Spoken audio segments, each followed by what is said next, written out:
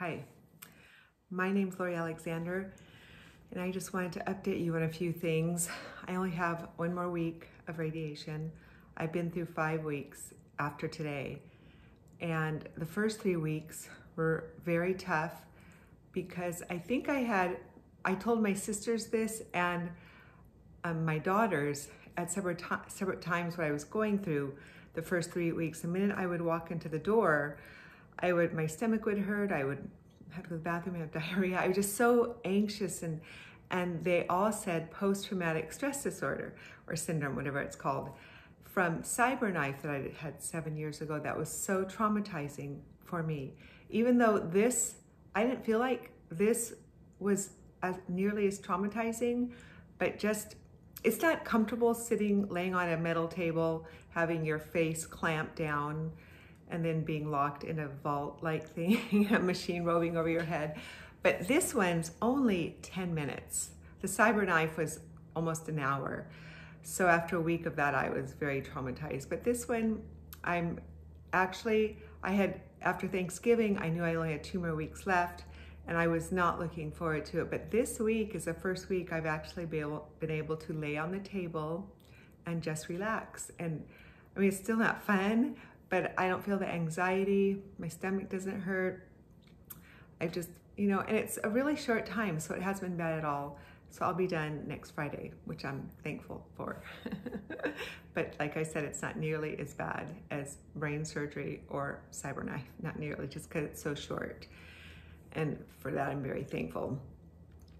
And another thing I want to talk to you about is about three weeks ago, I listened to a woman called The Daily Connoisseur, and she talked about intermittent fasting.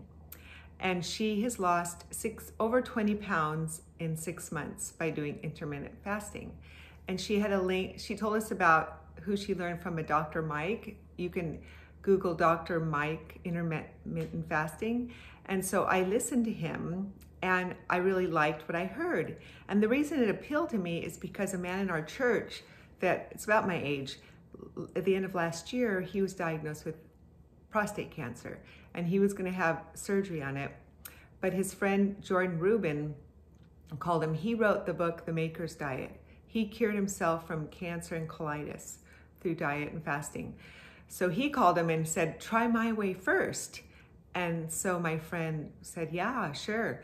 So he tried it and it was intermittent fasting and then drinking of juices. I'm not, and then a special, it was definitely a special anti-cancer diet, but he's completely cancer-free. I just found this out about a month ago.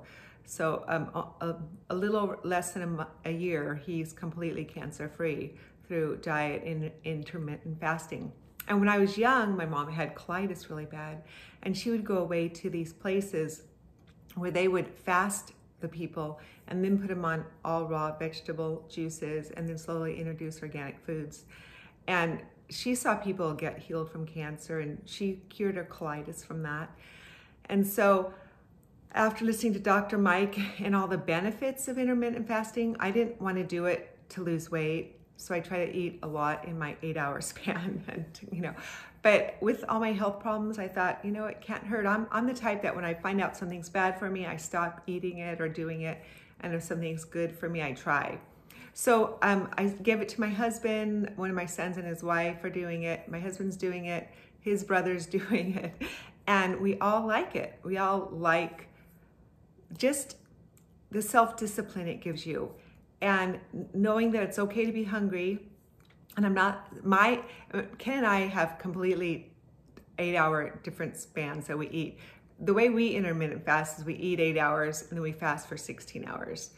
And it's supposed to fight cancer cells, um, inflammation in your body, help you to sleep better. I've definitely found I'm sleeping better and it's healing my gut, which is really nice. Just I think that long rest and many, many things. Um, fasting is good for us.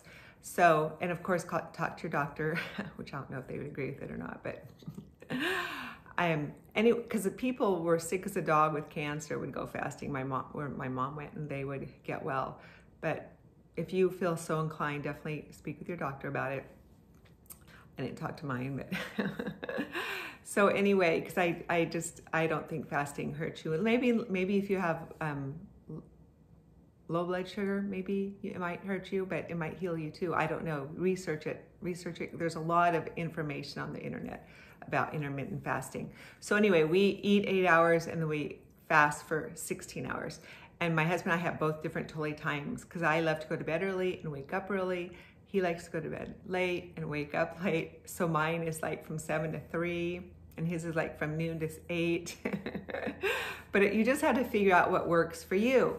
And then in the 16 hours, you just drink water. Even they say like stevia can stop the fast. So I stop about three. And the thing about it, I it works for me because I'm really good between breakfast and lunch. I don't really eat anything, but eh, from lunch to dinner, I'll kind of snack and then I'm not that hungry for dinner, but I'll eat anyway. So now I just kind of eat lunch and I snack a little bit. Then I have a bowl of soup about 2.30 my, with homemade chicken broth and everything before I start start fasting at three. And so I'm not hungry really. Sometimes I'll feel like I want to eat. I think a lot of times, like my husband said, you just want to eat out of boredom a lot of times. And so sometimes at night I want to eat out of boredom. But the hardest time for me is in the morning, the hour before I can eat, like from six to seven, I am ready to eat. I will have my tea in the morning um, with nothing in it. I do put some salt in it because of my salt wasting problems with my pituitary and everything, but um, that won't stop the fasting.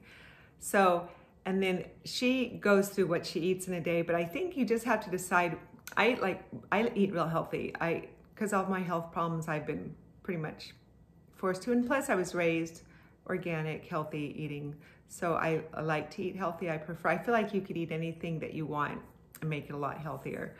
So i have a lot of a big huge salad for lunch sauerkraut on it a lot of avocado pumpkin seeds sardines chicken um, whatever turkey. I had a lot of turkey on my salad after salad after Thanksgiving, and then for dinner I'll have a big cup of soup. I like I said, and piece of my sourdough bread. And for breakfast, egg and toast or kefir and fruit.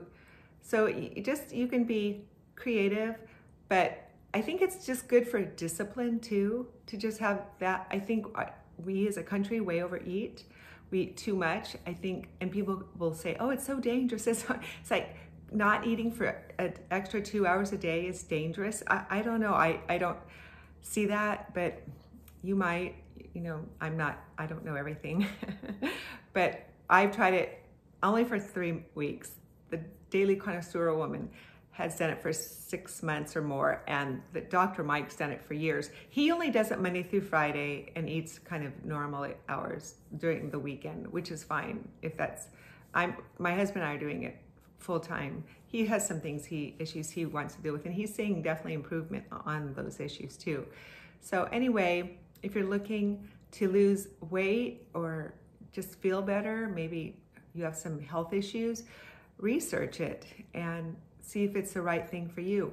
And it's nice because you don't it's not counting calories and whatever. Um, well, for me, I try to get enough calories in.